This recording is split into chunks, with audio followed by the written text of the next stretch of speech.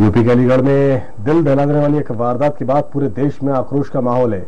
इसी बीच कई दिनों से शांत समाजवादी पार्टी के राष्ट्रीय अध्यक्ष अखिलेश यादव ने यूपी सरकार की कानून व्यवस्था पर सवाल खड़े किए हैं।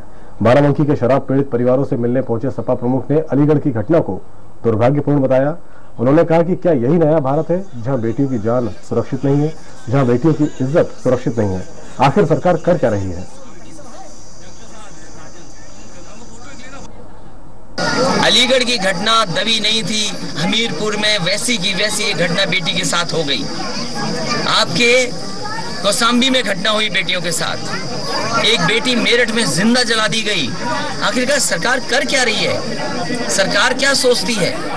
सरकार कानून व्यवस्था के नाम पर पूरी तरीके से फेल हो चुकी है। कानून व्यवस्था बची नहीं है।